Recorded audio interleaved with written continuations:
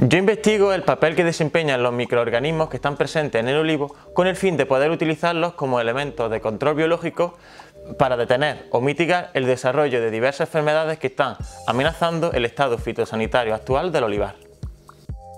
Estos microorganismos que están presentes en el olivo pueden ser beneficiosos, perjudiciales o neutros para la planta hospedadora y mi labor se centra en identificarlos mediante dos aproximaciones. Por un lado, técnicas cultivo dependientes y por otro, técnicas cultivo independientes.